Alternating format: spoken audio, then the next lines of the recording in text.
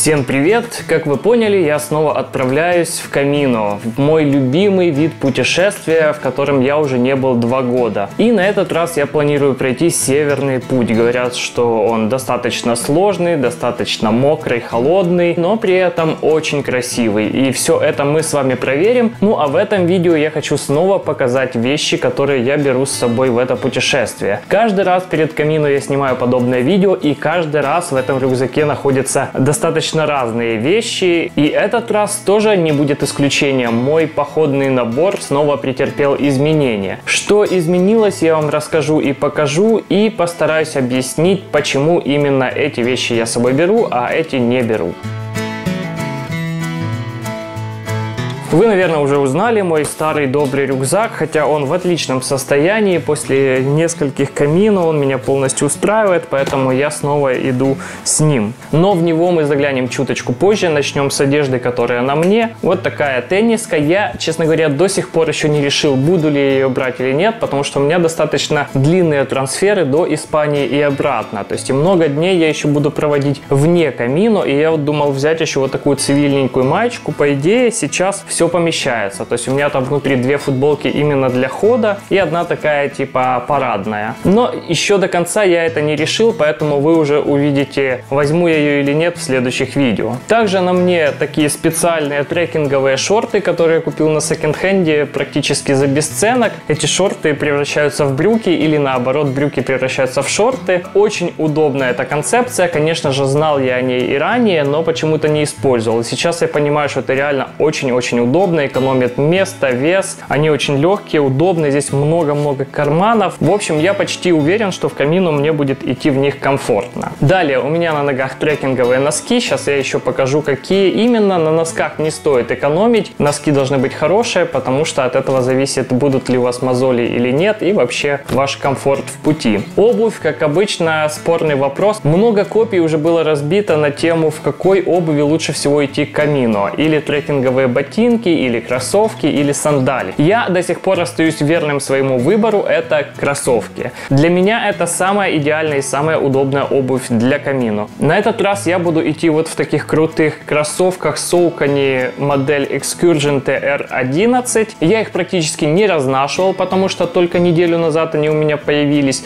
но они мега удобные и я чувствую, что их разнашивать вообще не нужно, они сидят уже на ноге как влитые. Это беговые кроссовки, но тем не менее предназначены для трейла, то есть по бездорожью. У них большие шипы, специальная подошва, дышащая вот эта вся сетка. В общем, мы их будем тестировать с вами и увидите, как они справятся с таким серьезным испытанием в тысячу километров за месяц, на минуточку. На данный момент, мне кажется, все будет замечательно, они очень удобные и по всем характеристикам подходят для моего путешествия. Я еще не до конца все сложил в рюкзак, тут некоторые вещи у меня лежат на столе. Давайте мы сначала к ним вернемся. Так, еще элемент одежды. Это кепочка. Головной убор это обязательно вещь на камину и от солнца, и от дождя. Это сумочка для фотоаппарата, на которой я сейчас снимаю это видео. Она тоже максимально компактная. Сюда можно ложить телефон в этот карман, что я и буду делать. Здесь также будут лежать мои GoPro,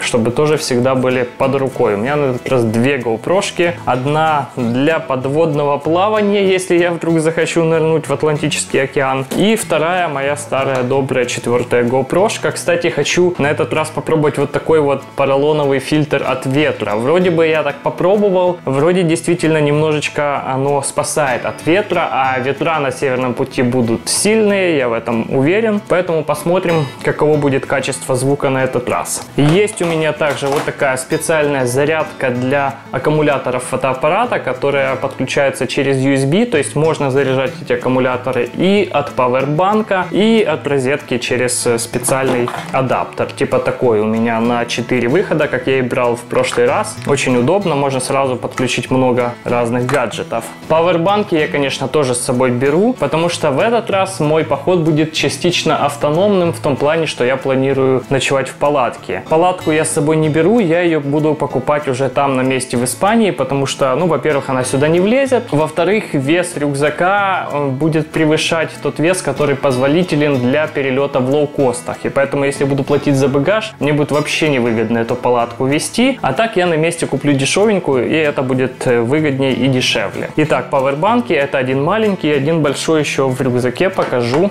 Наушнички маленькие. Я, конечно, не планирую слушать музыку в наушниках э, в пути, потому что я люблю слушать природу, я люблю слушать страну, но все-таки они нужны, пригодятся. Шнурочки тут, думаю, долго объяснять не нужно. Все, что нужны USB, микро-USB, все-все-все для вашей техники, тут нужно самому подумать, продумать, что нужно. Маленькая расчесочка, солнечные очки, это немножко овсяных кашек и еще какая-то гречневая. Потому что, повторюсь, трансфер до Испании у меня длинный. И я думаю, что я буду перекусывать вот этими штуками в дороге. Новшество для моего путешествия это вот такой кошелечек. Тоже давно я знал о существовании, но почему-то не практиковал. Вместо того, чтобы тащить ваш обычный городской кожаный кошелек или просто распихивать деньги по карманам, я вот взял такую легкую сумочку, в которую можно сразу же положить сюда в маленький кармашек. Например, здесь у меня беруши есть. В прошлый раз я брал три комплекта беруш. Ну а вдруг потеряются, а вдруг еще что-то, ничего не потерялось. Поэтому я в этот раз беру только одни и экономлю вес и место на всем, что только можно. Здесь у меня такая маленькая ракушечка. Вот в этом кармашке антисептик, ручка, и фломастер, тот самый фломастер, который я брал два года назад для того, чтобы писать всякие штуки. И зажигалка на всякий случай тоже может пригодиться. В основном кармане у меня, конечно, паспорта. Я вот тоже не решил брать один паспорт или два на всякий случай. У меня два паспорта и думаю, а вдруг я один потеряю. Затем наличка. Я уже подготовился, у меня деньги в евро, в долларах э, есть в наличке, чтобы не снимать, не искать банкоматы, хотя, ну, на карточке тоже будут деньги. А, здесь у меня второй второй паспорт. Ну, возможно, я его выложу. Вот не решил еще, брать два или не брать. В общем, такая удобная штука. Чем она удобна? Тем, что вы ее всегда можете у себя держать на шее, и их никто не украдет. Или, например, если вы путешествуете один, а в этот раз я путешествую один, то даже там отправляясь куда-то в душ, если вы не доверяете вдруг никому и боитесь оставить все свои драгоценности в рюкзаке, который остается без присмотра, вы можете забрать с собой хотя бы паспорт и деньги вместе с собой в душе где-нибудь там повесить его на, на полочку. Это достаточно удобно. Ну, в общем, его легко всегда держать при себе. Эти, кстати, штуки любят автостопщики. У них всегда это должно быть на шее, потому что если вы такие вещи оставите в рюкзаке, у вас могут быть неприятности в связи с этим. Итак, пришло время заглянуть в рюкзак. Верхний клапан у меня еще достаточно просторный. Здесь будет место для бутербродов или еще чего-то. А здесь у меня чехол для рюкзака. Я раньше использовал всегда пончо, то есть э, дождевики. В первый раз это был первый мой опыт. Этот пончо покрывает тебя вместе с рюкзаком, но я понял, что этот вариант, он не очень удобен тем, что в этом пончо очень жарко, ты такой весь неповоротливый, и потом его как бы сушить. Плюс э, ты его используешь только когда дождь. Ты его не можешь использовать как элемент утепления, например. Поэтому в этот раз я взял свою курточку, позже расскажу. Ну, а поскольку курточка не накрывает ваш рюкзак, то мне нужен чехол для рюкзака Он такой на вырост, скажем так. То есть, если у меня еще будет палатка, скорее всего, она будет, то есть он сможет ее покрыть вместе с палаткой. Это хорошо. Пока что больше ничего в этом клапане нет. Заглядываем дальше. Итак, полиэтиленовый пакетик. Раньше я брал, знаете, все клал в такие сумочки, несессоры. Это все очень удобно, органично, но это все лишний вес, лишний объем. И в этот раз я стараюсь отказаться от этого полностью. То есть вообще минимум сумочек, минимум каких-то пакетиков, максимум полезного места, скажем так. Итак, что у меня здесь? Влажные салфетки, немножко, чуть-чуть, буквально на всякий случай. Туалетная бумага, точно так же, чуточку. И еще немножко обычных бумажных салфеток. В этой маленькой сумочке у меня медикаменты. Тоже я по минимуму взял. Что? Пластырь. Опытным путем понял, что самый удобный для меня пластырь это вот в такой в рулетиках. Его можно отмотать сколько тебе нужно для разных функций. Потому что если маленькие уже порезанные порционные эти пластырьки, они не всегда подходят. Вот эти и лучше держатся и более как бы вариативные. Йод в стикере тоже показал свое удобство. Если надо вдруг замазать какой-то там мозоль, не надо доставать какие-то штуки, просто открыл, мазнул, все, готово. Хлоргексидин, та же перекись для очищения рам. Вот всего лишь 100 мл у меня по 50 мл флакончики я перелил. Должно хватить и даже с запасом как-то. Таблетки. Из таблеток у меня основной упор на обезболивающие. Я взял много обезболивающего, потому что всякое может случиться. Немножечко остатки крема Декларант Плюс при боли воспаления в мышцах и суставах. Дело в том, что прошлым летом я ходил в горный поход и там немножко простудил колено, и у меня с этим были большие проблемы. Кто смотрел мои видео на ютубе, можете посмотреть. Я там просто был как инвалид. И я очень боюсь, что это колено снова даст о себе знать, потому что иногда оно реагирует на погоду теперь. Поэтому я беру с собой эту маску немножко, совсем чуть-чуть. Надеюсь, что она мне не пригодится, но на всякий случай я должен был ее взять. Также в аптечке немножко бинта и, в общем-то, все, по-моему. А, еще пару таблеток от головы. Вот все мои медикаменты на этот раз. Далее, та самая баночка присыпки, которая уже ездит со мной, тоже не первая камино. И там еще достаточно много осталось. Зубная щетка в этот раз беру вот такую малюсенькую, компактную, потому что раньше я тоже на это не обращал внимания. Думал, да, ну обычная щетка, сколько она там весит, сколько она занимает. Нет, вот все так по чуть-чуть, по граммику, по сантиметрику складывается, и потом ты не можешь э, вложиться в свой рюкзак. Точно так же было с зубной пастой. В этот раз я беру вот такие малюсенькие тюбики. Один, ну, почти закончился, там, додавить. И вот такой, все, должно хватить. Потому что тоже брал с запасом. Шампунь. В прошлый раз я набрал вот такенную сумку шампуня и переживал, что мне его может не хватить. Я понял, что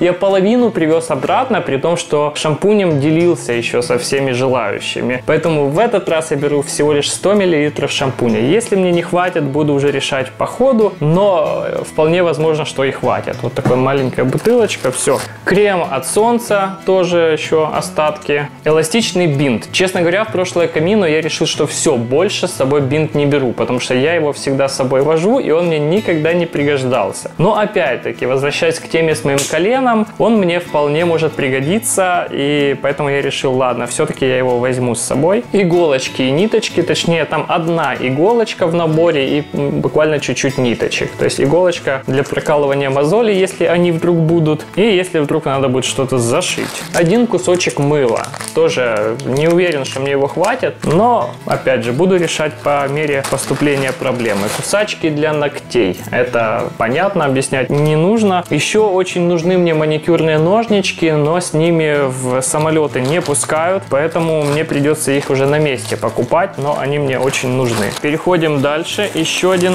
пакетик. Что у нас в нем?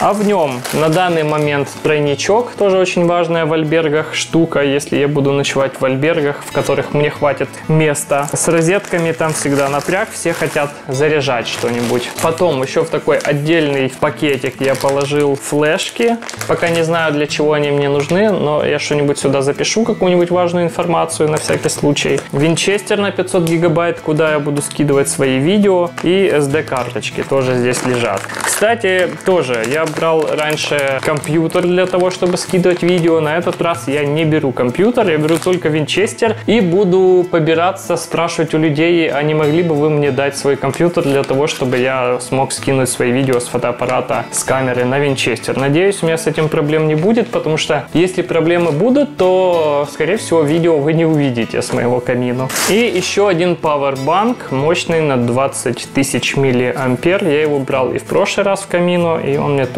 серьезно выручал, потому что даже не всегда тоже была возможность заряжаться от розетки. Далее, мой маленький рюкзачок на случай, если нужно куда-то пойти и что-то понести, но ты не хочешь брать с собой свой рюкзак. Не знаю, пригодится или нет, но на данный момент у меня здесь лежит, знаете что? У меня здесь лежат сублимированные продукты, причем сколько здесь? По-моему, 8-9 вариантов еды. Они у меня просто лежат дома, пропадают, так сказать, и я решил, что, ну, на камину, они точно мне пригодятся, потому что там даже если у тебя есть деньги, то не всегда можно найти еду позавтракать или пообедать, потому что сиеста и все такое. Это, во-первых, сэкономит немного мой бюджет, э, во-вторых, ну, поскольку у меня место есть в рюкзаке, для них хватает, а потом я их съем, и вот такой объем у меня освободится в рюкзаке. Во-вторых, ну, чтобы не пропадали, и, и в-третьих, я думаю, они реально пригодятся. Пригодятся или не пригодятся, посмотрим с вами в следующих видео. Мое полотенце тоже каждый раз я беру его с собой. Достаточно большое, удобное, быстро сохнущее. Тут как бы без комментариев бандана. Раньше брал по две банданы, может даже по три, не помню, ну по две, по-моему, для того, чтобы менять. В этот раз все, одна бандана, хватит. Во, это те самые штанины для того, чтобы мои шорты превратились в элегантные брюки. Все работает, я проверял, достаточно удобно, быстро, раз пристегнул, и у тебя уже штаны. Штаны, думаю, мне пригодятся, потому что, ну, в прошлый раз в Камино я был бы не против, если бы у меня были штаны, были достаточно холодные дни, а на северном пути таких дней уж точно будет побольше. Они, конечно, не водонепроницаемые, но все равно достаточно легкие и как-то будут защищать от холода. Две футболки для пути. На этот раз я беру синтетические футболки. Они действительно удобны тем, что очень быстро сохнут. А быстро сохнущность, если можно так сказать, это очень важные характеристики для камино, потому что ты можешь прийти поздно в альберг, постираться, и к утру она не успевает высохнуть. Поверьте, знаю, о чем говорю, поэтому тоже тоже вот взял на секонд-хенде такую дешевенькую классную футболку. Я уже проверял, она реально очень быстро сохнет. Ну и в ней комфортно будет идти, а не дышащие и так далее. Вторая футболка тоже синтетическая, вот такая. Это чисто для пути. Ну и вот эта третья, я же говорю, я еще не решил, буду я ее брать или нет, скорее всего буду. Курточка, о которой я говорил, мембранная куртка, я уже тоже ее проверял и в походах и так далее. Очень удобно тем, что когда будет очень холодно, ты можешь утеплиться курткой, а дождевиком ты не утеплишься, это как бы не вариант. Поскольку, опять же, я буду ночевать в палатке иногда, то мне нужны теплые вещи, и куртка, короче, это очень классно. Поэтому беру с собой куртку, тем более, что она тоже достаточно компактная. Будет у меня еще флисовая кофта, которую я сейчас забыл в другом месте, вспомнил об этом, спохватился и сегодня поеду ее забирать. Ну, в общем-то, тут еще в рюкзаке будет флисовая кофта, поэтому достаточно хорошо я утепляюсь на этот раз. Шорты, еще одни шорты. Те, которые я в прошлый раз ходил. Для чего? Ну, если я эти, например, в стирку отдам, в чем я буду сидеть? В трусах, что ли? Поэтому мне нужны еще одни шорты, плюс в них можно, например, купаться, если вдруг мне захочется. Носки трекинговые. Вот одна пара у меня на ногах, вот вторая пара, которую я обещал показать. Здесь уплотнение на носках, на пяточках. Здесь светоотражатели сзади, если вы вечером идете по дороге, и вас машины будут прекрасно видеть. В общем, куча разных хитрых тут технологических материалов задействовано, резиночек, все такое. В середине тут, чтобы не сползало. Очень классные носки, мне нравятся. Я их уже тоже неделю ношу, и пока никаких нареканий. Думаю, что камину в них пройду легко и удобно. Трусы. Одни на мне, одни вот такие. Тоже я решил взять синтетические ткани. Тоже быстро сохнут, во-первых. Во-вторых, приятные на ощупь, проветриваются, легкие. Ну, короче говоря, тоже, знаете ли, важный элемент. Раньше я думал, да какая разница? Понял, что есть разница. Покупайте спортивное нижнее белье, оно действительно вам облегчит путь Резиновые шлепанцы, тоже легенькие очень, для того, чтобы в альбергах ноги отдыхали или в душ можно ходить, то есть они полностью из резины. И тут опять-таки никаких комментариев не нужно. Распечатанные билеты на первую часть моего пути. На обратную дорогу мне придется еще там на месте регистрироваться и печатать билеты. Но это мы уже поживем, увидим. На данный момент вот эти есть. Затем я беру с собой каремат.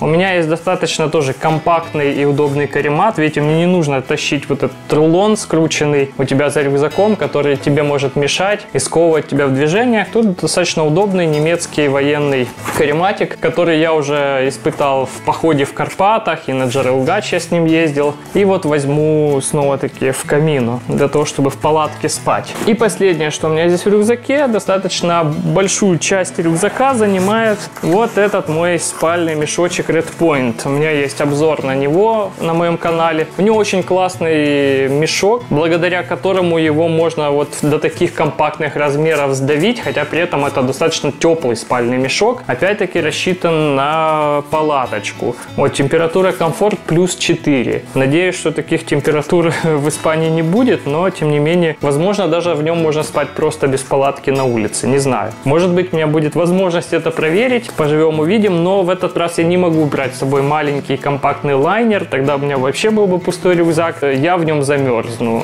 И беру с собой вот этот спальный мешок. В альбергах в нем уж точно будет тепло и без всяких одеял. В общем, это все в основном кармане рюкзака. Здесь еще что-то в боковые, я, кажется, положил. Да, здесь вот пластиковая бутылочка. Я хотел другую, но это то, что у меня сейчас завалялось, а которую я купил, не успела приехать из Китая. Поэтому возьму на всякий случай, может в аэропорту там набрать водички и так далее. Так-то в камину я вряд ли ей буду пользоваться. Она достаточно маленькая для таких целей. Но посмотрим, если что выкину. И во втором кармане надувная подушка. Опять-таки у меня трансфер очень тяжелый. Автобусы, перелеты, поезда и так далее. Мне нужно немножечко экономить свои силы, поэтому такая подушечка, повязка на глаза. Это все как бы место не занимает. И в палатке тоже может пригодиться мне эта подушка. Ну и мой маленький украинский флажок, который я вешаю традиционно на свой рюкзак, для того, чтобы люди знали, из какой я страны. Вот, в общем-то, и все. По-моему, ничего не забыл. А стоит рассказать вам, наверное, еще о том, что я не беру, потому что вы так можете и не заметить. Как я уже говорил, кошелек я не беру, хотя раньше я брал кошелек и таскал его с собой. Я не беру с собой бумажный блокнотик. Я всегда брал с собой маленький блокнотик, чтобы записывать туда свои расходы и так далее, потому что иногда на телефоне как-то тяжеловато набирать и хочется просто как курица лапой черкнуть что-то в блокнотик и положить его в рюкзак. В этот раз все, не беру даже маленький блокнотик, буду записывать э, в телефон все, что нужно. Как я и сказал, компьютер я не беру, буду искать возможность для того, чтобы скидывать информацию на чужих компьютерах. Я не беру много ненужных аксессуаров для GoPro, которые я с собой таскал и редко использовал на самом деле. Поэтому в этом плане я очень-очень серьезно отфильтровал эти вещи. Опять-таки не беру какие-то сумочки, как вы видите, то есть максимум пластиковые пакетики и то минимум для того, чтобы экономить и место, и вес. В общем, не нужно это все. Я не беру с собой дезодорант, постоянно таскал с собой дезодорант и понимаю, что я им там редко пользовался на самом деле, потому что вы приходите в альберг, вы там моетесь, как бы зачем дезодорант? Э, если вы на улице, то как бы от вас особо не пахнет, потому что вы на улице, свежий воздух и так далее. В общем, решил не таскать с собой и поверьте, это не проблема. Я не беру никаких кремов для ног, ни для мышц, никаких вот этих вот штучек там для растирания. Первый раз я только брал и то мне особо не пригодился, поэтому решил забить на это. Я не беру фонарик, потому что в предыдущие разы я брал фонарик и понял, что абсолютно ненужная тоже вещь, достаточно подсвечивать телефоном, в альбергах так точно. Я не уверен, что мне не пригодится фонарик, если я буду ставить в темноте палатку. Возможно, с телефоном будет очень неудобно себе там подсвечивать, но это мы проверим с вами. Но в любом случае фонарик брать не буду. Я не беру с собой мочалку, которую брал в прошлый раз и думал, что буду ей мыться в душе. Нифига, ненужные абсолютно вещи. И, что самое важное, наверное, я не беру с собой триммер, потому что я тоже предыдущие разы брал триммер. Я не бреюсь бритвой вот полностью до гола, как бы, поэтому бритву я тоже не беру. Ну а триммер это целый прибор и вес, и объем, и это все ради того, чтобы быть не сильно бородатым. Но я решил, окей, я буду бородатым этот месяц. Зарасту, наверное, страшно, но тем не менее сэкономлю место и вес, и ничего, тоже не страшно. В общем, вот такие вот вещи у меня на этот раз. Целый месяц я буду путешествовать. Это камино будет сильно отличаться от моих предыдущих. Почему, я думаю, вы сами поймете и увидите. А может быть не будет, я этого еще не знаю. Я очень-очень не подготовлен в этот раз в плане информационном. Но об этом мы поговорим с вами позже. В этом видео я всего лишь хотел показать вещи, которые я беру с собой в камино. И надеюсь, вам это видео было полезно и интересно. Если у вас еще есть какие-то вопросы, пишите их, конечно же, в комментариях, я вам отвечу. Подписывайтесь на мой канал, здесь будет выходить весь видеодневник с моего пути. Думаю, что вам тоже будет интересно это посмотреть. Также у нас есть группа на Facebook для любителей камина, где вы можете задать свои вопросы вопросы, почитать другие отчеты, советы чьи-то поспрашивать, тоже можете присоединяться в эту группу. Я вас приглашаю, ссылки все есть в описаниях и в комментариях к этому видео. Ну и пожелайте мне Буэн Камино, увидимся, надеюсь, что все получится. Пока!